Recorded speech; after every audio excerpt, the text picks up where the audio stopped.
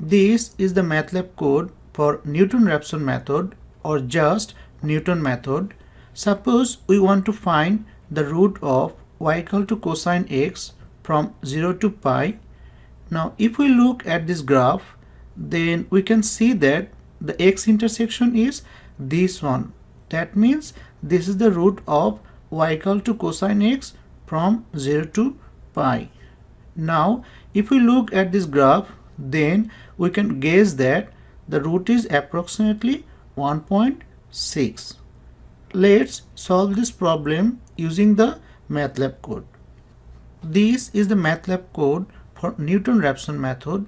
In our question, the function is y equal to cosine x and lower limit is 0 and upper limit is pi. So function is cosine x and in Newton-Raphson method we also need its derivative which is negative sine x.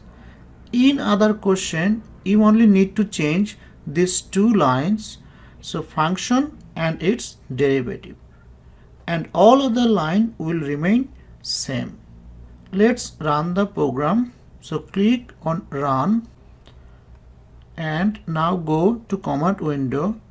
Let's the initial approximation is 1 and number of iteration suppose it's 20 and tolerance suppose it 0.0001 so the approximate solution is 1.5707 let's run the program again.